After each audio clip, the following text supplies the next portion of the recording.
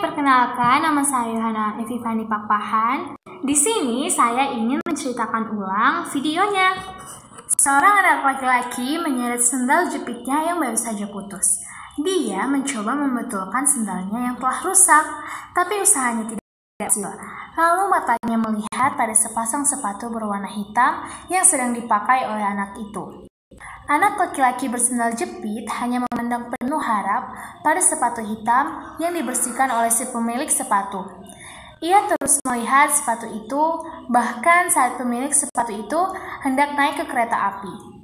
Karena situasi stasiun yang sangat ramai, membuat salah satu sepatu yang dia pakai terlepas, padahal kereta sudah berjalan. Anak laki-laki bersendal jepit lari mengambil sebelah sepatu tersebut.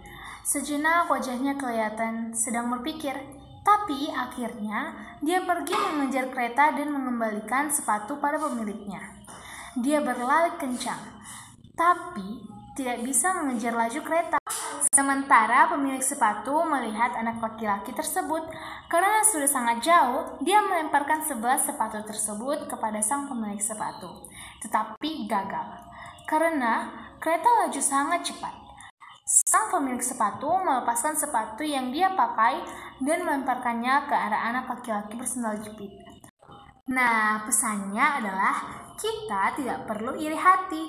Merusak kebahagiaan atau kesenangan orang lain itu percuma. Sama seperti sebelah sepatu tanpa pasangan yang tidak akan berguna.